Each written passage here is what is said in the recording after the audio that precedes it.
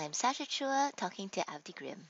So, thank you, Avdi, for making time to chat with me about Emacs. I'm really curious about how you're using it, how you got started with it, what are the interesting things you've come across, and, and also what you'd like to be able to do with it as well, just in case other people have come across things that will make that happen. So, tell me, how did you get wrapped up into doing this in the first place? Emacs. How did I get started with Emacs? I um, so as a programmer, I'm a programmer. Um, as a programmer, I cut my teeth in like the defense contracting world, and that's like a lot of sort of old, big, old school places. It's it's what it was one of those places where you didn't you didn't learn an you didn't use an editor. You didn't like pick an editor. The project would pick an editor. yeah. So, so Emacs was chosen for you. Well, no, no, that's the thing. no. Nobody ever chose, but but so.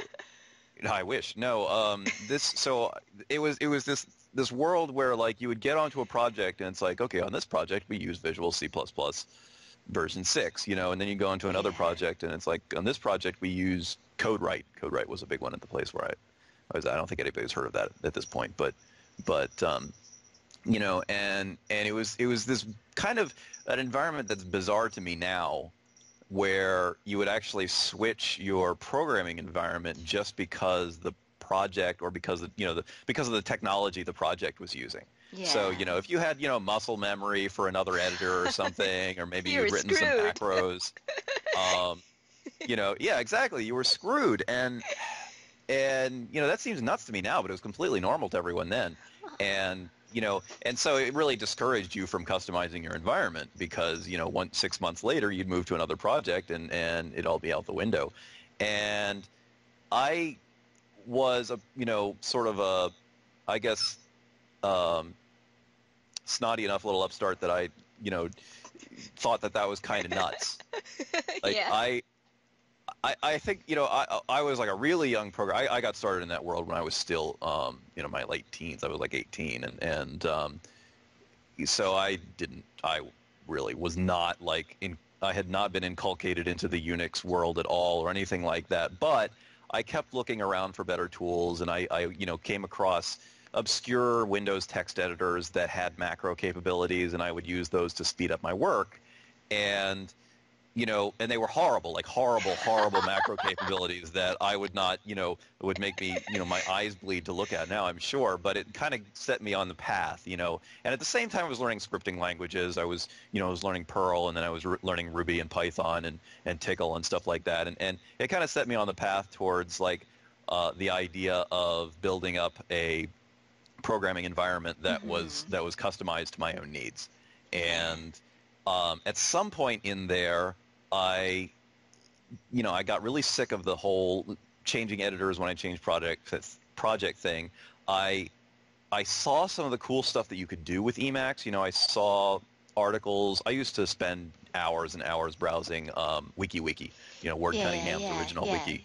And and so from places like that and, and, and around the web and Slashdot and whatnot, you know, I would see the stuff people were doing with Emacs. I saw InfoDock, that was an old an old um, sort of set of add-ons built or a distribution of Emacs that had some mm-hmm. interesting programming navigation capabilities that I haven't seen anywhere else and and so and I just saw stuff that people were doing. I saw like GNUS, you know, the the yes. mail yes. mail reader, which is mail and news reader, although I was always more interested in, in it as a mail reader, but that was like is was and still is the most powerful mail and news reader in existence. It's just that the funny thing is it was one of those apps so like when I first, you know, was interested in Emacs, it really was more about the apps that people had built on it than it was about the editor itself. I mean, I was interested in using a, re- a true programmer's editor, but it was really what really pulled me in were the apps that people had written on it.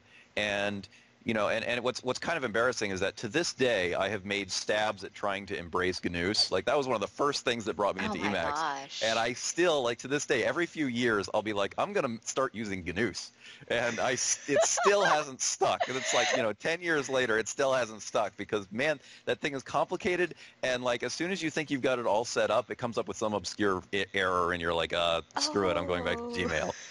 um, uh, but I've got But, some uh, uh, Dovecot offline IMAP uh, Gmail configuration somewhere that you might find useful for GNUs. Oh, but okay. yeah. Anyway, yes. So yes. So GNUs. Um, yeah, you know, or I, like I'd find out that it was just really slow talking to Gmail or something like that, and and so so I still ha- haven't gotten up and running on that. But but but the funny thing is, I still am using Emacs as much for the apps that people have built on it as for the editor itself. So like. Um, one of the reasons that I love it so much today is org mode. As you know, I'm, I know you're familiar with org mode. Um, way back in you know back in those days that I was using Emacs on Windows, I used Emacs Wiki a lot yes. I use that I as remember that. personal organizer. I, I would collect notes in it, um, and and you know, Emacs Wiki. I think. Well, even John. Jo- Is it John Wiegley? Yes. or what? Yes. Okay. Uh, I think. Um. Anyway, so yes, Emacs Wiki. So he. I mean, he came up with with Emacs Wiki, right? Yes. That was his. And but even he even isn't like even he doing stuff with org mode more now. Yes, yes. We, Oh, we like most of us has, have jumped ship. I, I used to maintain Yeah. Planner mode, which was built on top of Emacs Wiki that John Right. had also written. Um, but Right. because there's Which been so much one of my activity. that you Yeah. maintained planner mode and I used planner mode Oh, that's so I wonderful. all the time. but org Um, is fantastic. Yeah, and, so and org kind of came on the scene and it just ate everything else. uh, It really, you know, and, and it, a lot of it's just kind of the, the, the model of organization, I think. You know, I, I, I used to, like I said, I used to use Emacs Wiki. I used to use Planner Mode. And, you know, the fundamental problem that I, I love wikis, but the fundamental problem that I found with it was just the, I, it was just like not being able to find things. It was like, yeah. you know, every, there are all these little nodes scattered around, and it's like my filing cabinet. Like if I can't, like I can find something if I can remember what I filed it under. But if I can't remember what heading I filed it under, then I'm screwed. And then I kind of had the same issue with, with any kind of, of personal organization. And the thing about org mode is that if all else, because you usually keep everything in a big file that's just really well hyperlinked and really easy to search and to collate and all that stuff, but it's basically still a big file. So if all else fails, you can always just do an incremental search from the beginning until you find yes. Yes. that, that Absolutely. really changed it. Yeah, yeah. I like the slicing and dicing of things in different agenda views too. But yeah, that's one file uh, really worked out. Yeah. Yeah. So yeah, I um right. So I used, like I said, I used uh, Emacs Wiki in Planner mode, and that was one of those apps that people had built on Emacs, and and now I use org mode a lot. So I use org mode. I actually don't use org mode um, for organization right now. Um, I've made some stabs at that. I'm really, really bad at sticking to organization methods. That's okay. Um, you know, it's another of those things that like every few years I'm like, I'm going to get organized. I'm going to do it this time. I'm going to do GTD or I'm going to do, you know, I'm, I'm going to, whatever it is, you know, Yeah. and very little of it ever sticks. Um, but I do use org mode to write. yes. Um, you know, it's funny. It wasn't. It was really, I guess, originally intended more as like a personal organizer kind of thing. But but I use it for authoring, um, and it is so fantastic for authoring. And I just I have not found anything better uh, for that. I mean, I so I've written a couple of ebooks at this point, and um, org mode was a big part of making that possible. And and you know, part of it is just the fact that. Um, it has such good support for embedded code. Yes. I mean, there are lots of tools that you can, you know, that give you some support for, you know, a, a chunk of this this chunk of text is code, and maybe it'll even give you some syntax highlighting or something. But the fact that that in org mode, you know, I can press Control C, um, uh, quote, and it'll drop me into a Ruby buffer, which is based on that chunk of code in the original org mode document, and I can, you know, I have all of my regular Ruby mode stuff in there, and I can even execute the code yeah. and see the result in the org mode buffer. And so, you know, that kept that meant that that in writing like exceptional Ruby, most of the code samples in there are executable, and either either the book actually has, you know, either the book has the the output of the sample right there in the book. Um, and that's generated directly from the code by org mode. It's not like I pasted it in, or maybe I had maybe it was a code sample that di- I didn't need the output, but I would still have it generate the output, just not export it. yeah. Um, but I can know, but but every code sample in there I was able to test in line. I didn't have to Wow. like you know get it working in another file and then make sure it was working and then paste it in and then realize that I actually wanted to change something about it and so I would have to change it in the original file and then make sure that worked and then paste that in. None of that. It was just drop, you know, it was just drop into the, the code buffer, change it around a little bit, drop out, execute it, make sure it still, runs. And it, it's it it speeds up the process of of authoring just unbelievably. And then you know throw on throw on top of that the fact that it can export to, to LaTeX and it can export to HTML and and it can export to text and you know it's just insanely productive. I know, I know. So yeah, so org is a huge part of your authoring workflow. Are there other interesting things that you do with Emacs that totally blow you away? Um, so okay, so I have this. Uh, my job now is this screen screencast series that I yes. Tapas. Um, I of course use use Emacs in all those videos, and some fun things that I've done with that. Well, the the the question that I get more often than anything else in relation to that um, is how do you make Vim insert the result of the code right in the buffer? Which the answer is parts. First of all, Get it's Emacs. Emacs.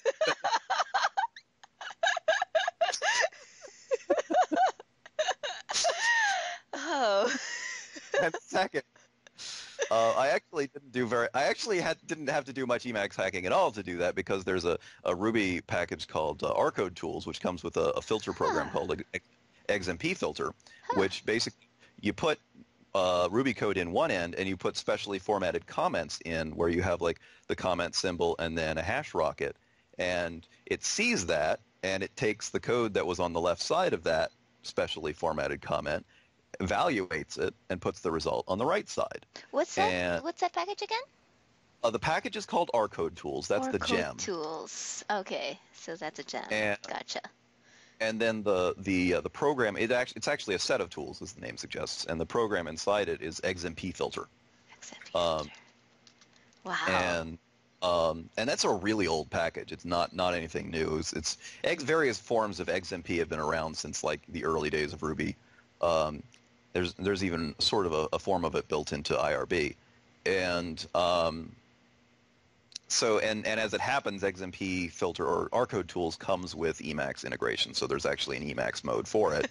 uh, so all you have to do is pull that pull the EL file out of the gem or reference it in the gem, and and you're pretty much set to go. All I actually had to do was bind it to to a, um, a you know, key binding in Emacs, and um, I bound it to Control C Control C, which is the you know kind of standard execute this thing Do stuff. Sort of. stuff. Yeah, That's the yeah. magic button in my in Max, and uh, nothing else. I, to my surprise, nothing else in Ruby mode was already bound to that, and so I, I found. I mean, we also have InfRuby, you know, in inferior yes, Ruby yes, mode, I've used that a lot. right, where you can open up a, a second buffer, um, you know, which is running an IRB console, and you can you can send code from from your Ruby buffer into that console. But I, I just really like the fact that with XMP filter, I can just insert the, the output directly in line. Mhm. Um, the only thing that, that I've seen that really comes close to that, um, and, and actually goes way beyond it in some ways, is is the, the this new um, Xiki. You might have seen that um, by uh, it's X I K I, X I K I. Okay. and so uh, after after this this after this uh, meetup after this recording, you're going to go look up Xiki, and you are immediately going to schedule um, a, a, pairing session with with the author Craig Muth. Wonderful. It's going to be like this is off the hook.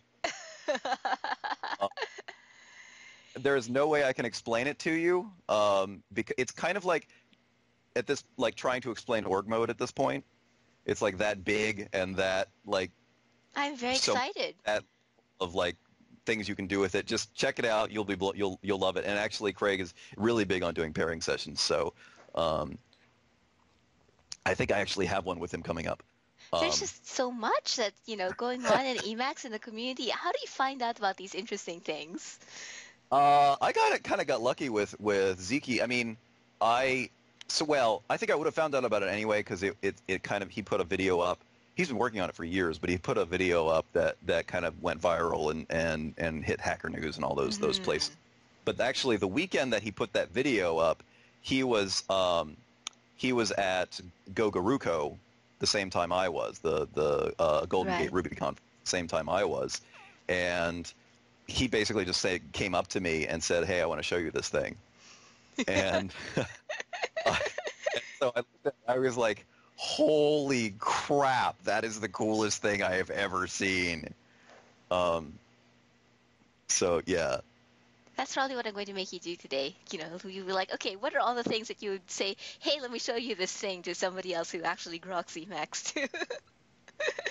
I don't- I don't know. Like, there's no. I mean, you know, I get there. There are these places I get my Ruby news. Like, there's Ruby Weekly News that Peter Cooper does, and there isn't really like an Emacs Weekly News. But, but you know, there's like the there's the Emacs Reddit, um, Yeah, which stuff up on there, and there are a few Emacs Twitter accounts that I follow um, that that have some interesting news. And, Planet and Emacs often has really interesting blog posts too, so Yeah.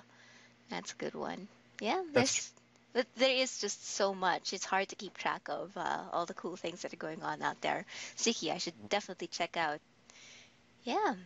Okay, so you know, so that's how you got into it, and you're clearly definitely into it. Um, I saw from your uh, like Emacs reboot series, you periodically clean house, I guess, in your configuration. How's that, That coming one- along? that was actually the one time uh, that I've done that. I mean, because the the configuration that I had up until I started that series uh, literally had been been with me from from the start. Uh, so that in one form or another, uh, it had followed me uh, from my Windows Emacs days, and this was so uh, like on Windows, I went through InfoDock and then XEmacs and then GNU Emacs, and then I was using um, one or the other on Linux for a while. Then I was using it. Um, I was using Aquamacs on a Mac when I got a Mac, Wow. and then I ported that configuration back over to Linux when I switched back to using Linux full time. Uh, and that one, you know, my, my Emacs configuration followed me that whole time. wow. Just you know, rolling up like a big snowball over time and, you know, accumulating and conglomerating and, and it was, it was a mess, but, but it was kind of cool that I could do that. You know, I mean, I had a lot of stuff in there that was, you know, you know, operating system switches. So it would like check to see Yeah, which yeah. operating on and try to enable something or not based on that. And uh, I had host, I had a system of host name switches where basically like, you know, I could have like a dot. I think it was more complicated than that, but but than this. But it was f- basically the basic idea was like I had a dot emacs dot host name Mhm. for a given host name, and it would it would load that for for whichever host it was on. yeah. Um, and so if I had, you know, like work specific configuration and stuff like that. And, and yeah, it followed me around for a long, long time, but eventually I got kind of tired of it. It was getting kind of flaky and, and, um, I felt like I wasn't using a lot of it. And I also felt like there was a bunch of stuff out there that I wanted to be using or should be using. And it wasn't because, um, because I had this big, um, hard to modify configuration. And so I, yeah, I just threw it all away and, and started building it from scratch. And it's it's it's a nice exercise because it you know, as I hit pain points, I go out and I to see how people are solving that particular pain point, and then I d- discover neat new new tools that I didn't know about before because I was using some old and busted you know one that's not maintained anymore, and and there's actually something way cool now. Tell me about a recent pain point like that. Um, you know, tell you what. Here's what I'm going to do because I will. There's so little chance that I'll actually just remember this. I'm going to open up my um, my .emacs Totally. folder, and I'm going to just diff it to see what stuff I've forgotten to check in lately. Oh, Uh, you, or you can gonna- walk me through your Emacs. Uh, I like uh, looking at people's configuration, but it might have secret stuff. of that thing. Let's see. What, um, what have I added lately? Um, of course, half this stuff is commented out. That's the thing, you know. I thought I'm going to do it really clean this time, and of course, that didn't last very long. trying to think what what have I added lately?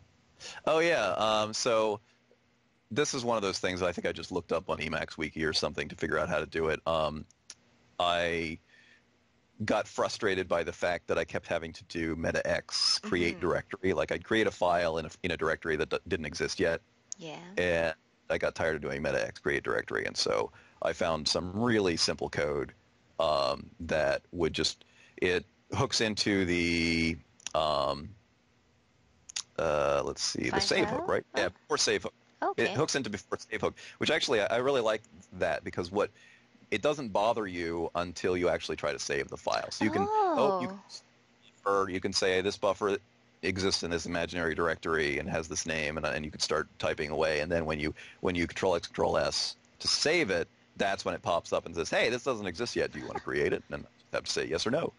Clever. And uh, it's a super um, super small piece of um, piece of eLisp. Um, very very elegant, I thought. Um, Yeah. But I I think I stole it off someone. I don't think I wrote it. I didn't write it myself. It's always amazing to see how all these little frustrations can be smoothed over with a bit of eLisp. yeah. Yeah. What so is- that's, yeah. That's, Yeah. What Good are some of the other little frustrations that are on your, you know, I, I, I, I- I'd like to fix this or find somebody in Emacs Wiki who has list. What's your, you know, what are some of the things that you'd tweak in Emacs? Um, you mean like things that I've already fixed or things that I wish were fixed? Well, things that you're about to fix or wish you were fixed or would be curious about. That is a good question. I might have to think about that for a minute. Um, I am still not totally happy with my terminal configuration in, in Emacs. Um, I've been using multi-term, Yeah. which is built on top of term, term.el, which I guess is built into Emacs. And it's not half bad. Um, I really like having, uh, I really like having a console, like an, a terminal that I can pop up anywhere. Uh, pop up anywhere at any time. You know, just I bind it to F1 and it and multi-term handles it pretty well. It pops up and I can do some terminal stuff and then Huh. hit F1. It goes away. Um, it's not perfect. I used to have something called shell toggle, which I think is is is so unmaintained it's not even easy to find anymore. um, and it it used shell uh, shell mode, not not con- term mode. yeah, yeah. Shell mode, I mean, shell mode is more Emacsy, but it's less con- it's less console You know, it's it, it doesn't support like you can't run you can't run Vim in, inside of Yeah, yeah.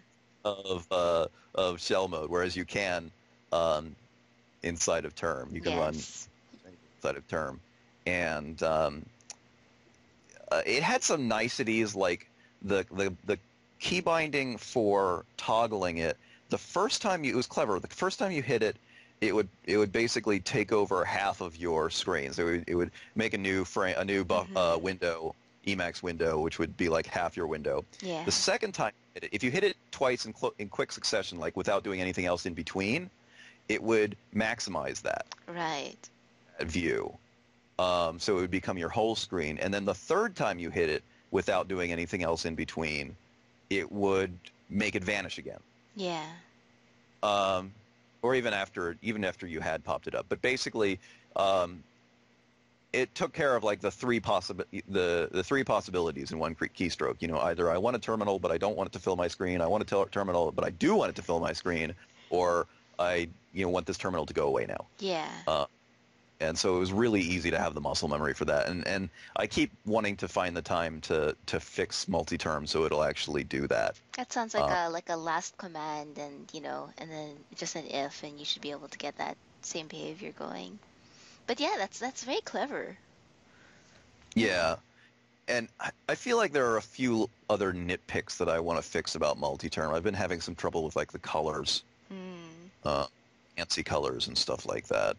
Um, like ideally, so here's the thing. I, I, I've always liked having a pop-up console for my whole desktop. Mm-hmm. And I've used various packages for that. Like there have been some times when I've used tiling window managers Yeah, and I've actually just like used a regular terminal program, but I, I used a special binding in the window manager so they would pop to the front over everything else and then pop back, you know, when I hit the button again. Yeah. Uh, and I've also used things like there's uh, various packages on Linux. There's like Tilda, and there's Guake, and there's Yakuake. There are like three different programs that all do the same thing. You hit a hit a button, then they like bring Yeah. a terminal a terminal down, and then you hit it again, and they scroll back up. I really like that. Really like having that. I've always wanted it to be an a, an Emacs terminal instead of separate system terminal. You know, because then like I'd have all my you know the the whole yank buff, you know, the whole uh, kill would be the kill ring. Sorry, kill ring would be the same. Um, and my you know copy paste commands and nav- key navigation, everything would be like totally familiar. Um, and I've never quite gotten there. And it, it, it needs to be like to be like system level. It would have to be like a dedicated frame, I think, that I could get to pop up and then go away. Um, and I just haven't gotten to that point, and that kind of bugs me. But I totally hear you about that. Once you get these keyboard shortcuts wired into your brain and all the commands that you can rely on, you tend to want them in everything. Yeah, yeah, And so yeah. I've heard that, there, that you can tell like GNOME to use e- more Emacsy key bindings. I haven't actually investigated that yet. hmm Yeah, so some people have, you know, end up building all these little applications for Emacs for playing music or browsing the web or doing all this other stuff. It's all Yeah. good stuff. well, I've- that- I, did, yeah, I did used to do some browsing in W3M mode. yeah. Um, that was kind of nuts, but well, workable. actually, that plus keyboard macros worked out to be really good. so, Mhm. so yeah, there's all sorts of power you can you can do once you start digging into um, Emacs. So you you mentioned Org is one of the applications you really like. Are there and and GNUs is one of the things that you're also looking into, pre, well, periodically looking into into using. Are there any large chunks of uh, uh, other functionality that you've explored? Um, that's a good question. I've always wanted to learn the calculator mode, but I never really got around to it. Hmm Uh, I mean, I use it periodically for very simple stuff, it's but got I, a I've, funny manual. it's worth reading. Calc? Yeah. Yeah. Yeah. um, I'm trying to think if there are under, uh, any other major packages. Mostly, it's just modes, little modes and extensions and things. Um, what else have I used? Uh, I'm I'm fascinated by Slime. If I if I spent more time in Lisp, I would I would spend more time in Slime. I, I love you know the integration there, but I just don't I don't have an opportunity to code Lisp as, as much as I'd like, except for Emacs Lisp. Yeah, that's that's cool too. Hmm. So, do you bump into a lot of other Emacs users aside from the ones who, well, I guess people reach out to you because of your podcast. What's it like? Um, periodically, it's interesting in the Ruby world. The Ruby world has kind of this, this. I'll go ahead and say it. Kind of a faddish nature when it comes to editors. um, so periodically, I'll, I'll bump into like an old school Rubyist, and a lot of them still use Emacs. Uh, so like Jim Weirich has been using Emacs forever. Uh, and we just had Joe O'Brien on the show. He uses Emacs. Uh, that's on the, the Ruby Rogue show, sorry. Yeah. And various other people like that that have been been around for a long time tend to use Emacs. And and, and actually, Mats himself, who wrote the Ruby language, Yes. uh, uses you know longtime Ema- Emacs user and actually did a presentation about how Emacs uh, influenced the design of Ruby. Huh. I should track that uh, down. Yeah, yeah, it's very interesting, and I think I, I, I- just kind of imagine all the Vim users. 'cause there are a lot of Vim users in, in the, the Ruby world right now. Um, Yeah, yeah. just imagining of gnashing their teeth as they were watching that. it's especially like, well, he talks about number one how Emacs Lisp actually design, you know, influenced the design of the Ruby language, and also how like the the putting together the Ruby mode in Emacs um, influenced the syntax of Ruby. Like, if you get if you could get the, the Ruby mode in Emacs support a syntax, then he'd put that syntax to Ruby. But if you couldn't, no. seriously, seriously, it's in, it's in the presentation. Oh my goodness. Um, but but you know, since then, so but uh, so I spend obviously as you know from the stuff I'm talking about, it's it's obvious I spend a lot of my time in the Ruby world. yeah. and um, most people like so there was a, a period of time where everybody was using TextMate because everybody migrated over to the, to the Mac and everybody used used TextMate for a long time. Um, then TextMate kind of stagnated, and um, and all the people whose appetites had for a real editor had been had been sort of piqued by TextMate um, started discovering Vim, uh, and so now there's been basically everyone that I, almost everyone that I do remote pairing with, and I do, I, have been doing a ton of remote pairing over the last uh, yes. half a year. Yes, I saw. Uh, that's basically been my job um, until until I got Ruby Tapas rolling. Yeah. Uh, pretty much everyone was either using Vim or uh, Sublime Text. That's kind of a new thing that's that's been making a lot of waves. Mm-hmm. But I'm starting to see a bit of a sea change. I've been starting to see some folks say, you know, what's regularly say, what's all this Emacs stuff about? um, Yeah. and uh, like my, my friend Evan Light recently made the switch over to Emacs, and he did it because he'd been doing a lot of remote pair programming uh, using Tmux. Oh yes, yes. And um, he had gotten frustrated with sort of like the dual, like the m- multi levels of mo- of modalness yes. because it was sort of the modalness of Tmux, where you're either like and tell, telling Tmux to do things or telling the programs inside Tmux to do things, and then there was the modalness of, of Vim inside of that. Mhm. Um, and he was also frustrated with like like having to you know manage the separate terminals and stuff uh, in, in in Tmux, and he I think he s- switched over over mainly because with Emacs he can have his shell inside the editor, and so for the most part he can ignore Tmux.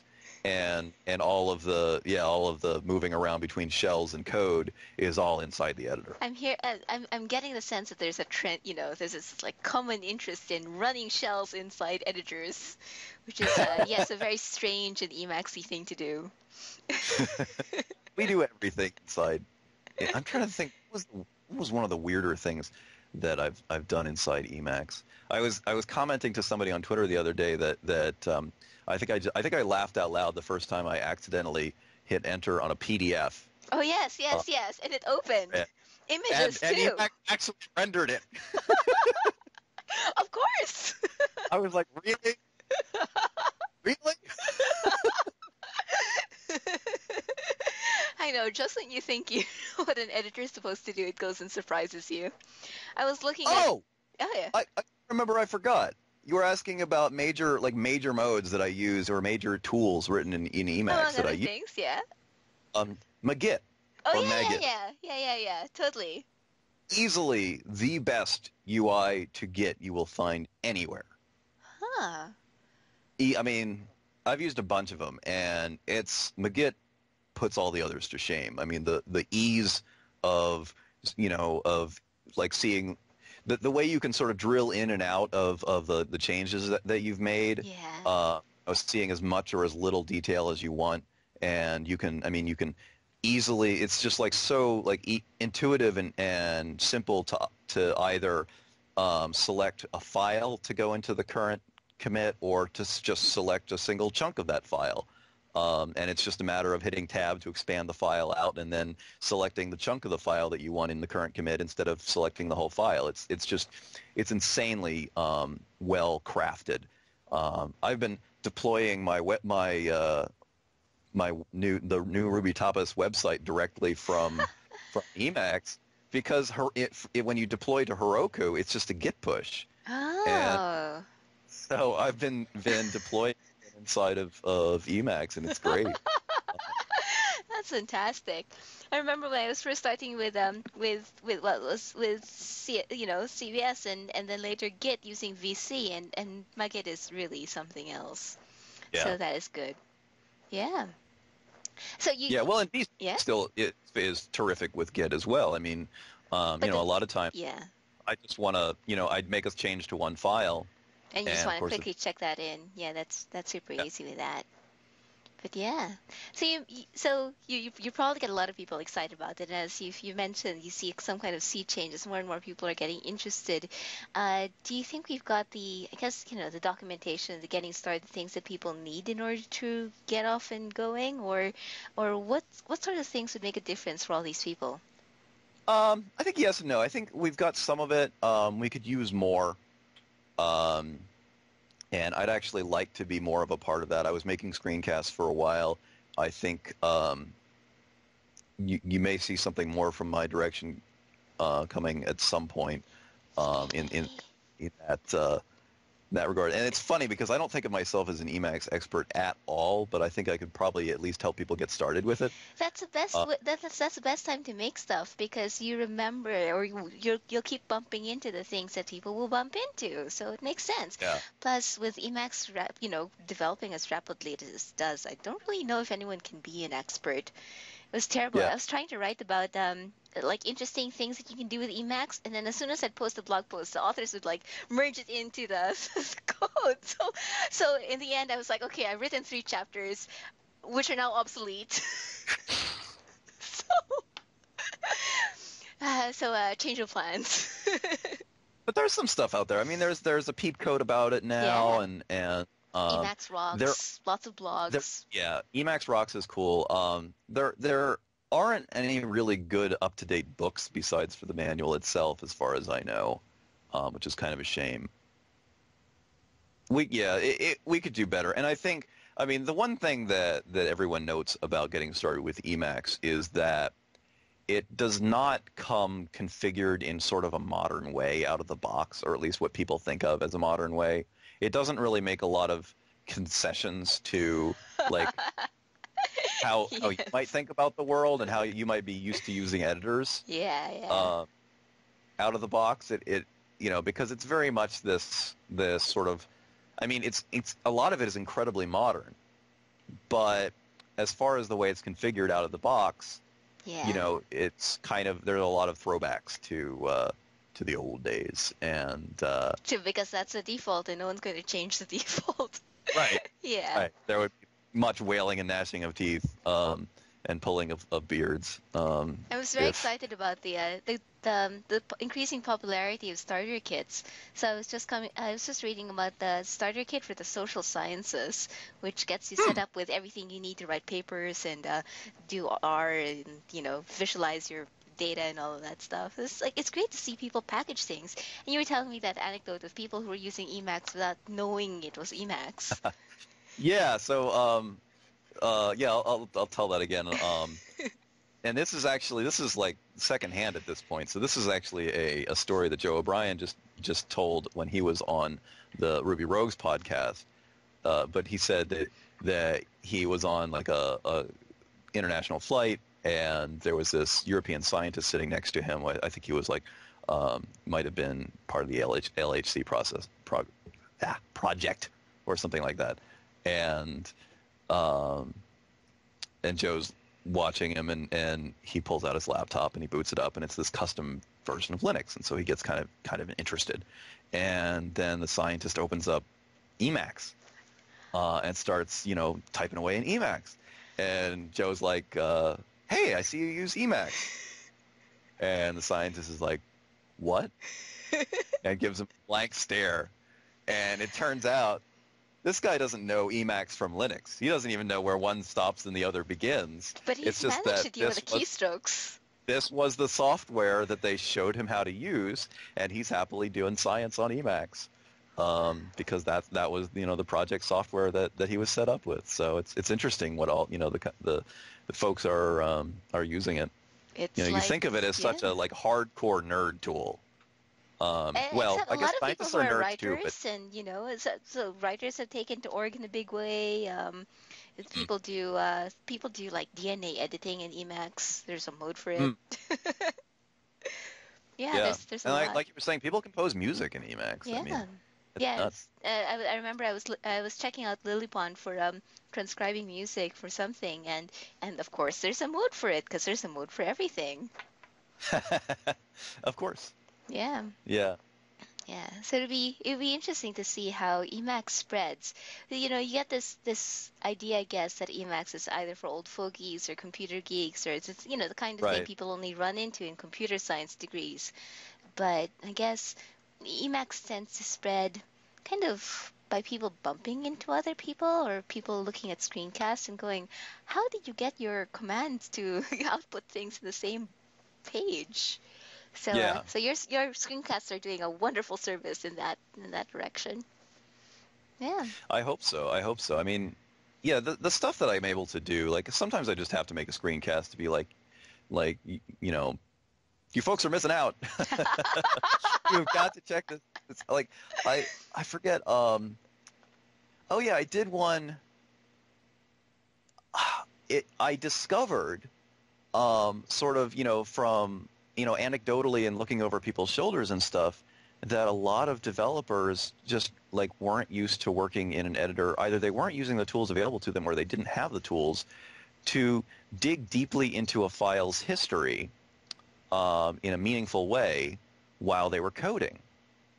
And you know, and this is sort of one of those those long time debates. You know, do you like do you leave comments in your code to explain the history of why you know why things are the way they are? Um, I've even seen people that were like, we comment out the old code Yeah, rather than instead of- deleting it yeah. because so that you can see the, the, the evolution of it or in case we need that again, you know, even though it's under source control. And, um, and a lot of this stuff just sort of seemed nuts to me. Like why, you know, that's what the, you know, the history of the file, like why things are the way they are, that's what the, the, the version history is for. And then I realized after looking over a lot of shoulders, a lot of people don't have the version history of a file at their fingertips. They just don't. Like like if they want to see the version history, they go to GitHub or something and they actually look up the file there. You know, and you know, and if if if it's the only his, if it's like local history or something, they're screwed. Um, and So I did a screencast. And, yeah. Right, of you know how it's like one keystroke to annotate and have, um, you know, have the the the file broken up, colorized by who did what when, and with the little comment of why next to it, and then like hit keys to page backwards and forwards, like I can just page through time, and see the changes, and that's all within the editor, and so it's all very present. It's not like it's not a chore to go look it up. It's just right there and it changes the way you work. You know it's not just it's not just a convenience. It changes how you write code when you know you have the history you know when the history is part of the file you're looking at rather than something that you have to dig around for um, and yeah so i like to share this stuff because people are missing out Yeah, I hear that a lot from from people who are curious about Emacs but haven't made a jump. They they feel like they're missing out on a lot of interesting functionality, and they are. so yeah they really are they really are i i i, I know that because I was there, you know, a long time ago. But I was there, and, and then I got into the Emacs world, and I, I you know, didn't want to go back. And, and it really is about building up an environment. yeah, Um, I think that's the fundamental shift that people go through, or at least that I went through, is that it's not so much that it's an editor. It's you know, it's that it's a Lisp machine that you can write your port write your your development environment in portably and Hmm. dynamically, you know, and you don't have to reboot the whole thing in order to to try out the changes to your development environment. Um, you know, you can just start banging out some code, and now you have a new tool that you didn't have a moment ago. and you can and, peek under uh, the covers and tweak things just a little bit to fit you better, and Right, have because because it's all in, in Lisp, and it's the same way working in Ruby code is is Yeah. You know it really changes things when you go from the model of well there's the system that we can't change, and then there are some points where we can hook into it and, and change it. Whereas Emacs, the whole system, you know, the whole system is just live Lisp code that you can edit, and uh, and so it's not so much about writing plugins as it is about rewriting the system itself. That's what I really like about Ruby too, because the the freedom of just opening up a class, sticking or you know adding some more behavior to something is something that many many other programming platforms lack. so you Mhm. end up doing this, all these weird contortions to make something happen, and with both Emacs, Lisp, and Ruby, it's easy to modify that. Yeah. Yeah. Cool. Uh, I should probably wrap up the podcast around here. You know, keep it in somewhere in people's attention spans. But I'd love to stay on and chat with you about anything else or learn more about your experiments with delegation and all these other good things. But, but Oh, okay, first, sure. you know, I will thank you for sharing your wonderful Emacs stories, and I'm glad I got a chance to chat with you about the, the way that you use it. Thanks for sharing with us. Oh, my Yeah. pleasure. Thank you.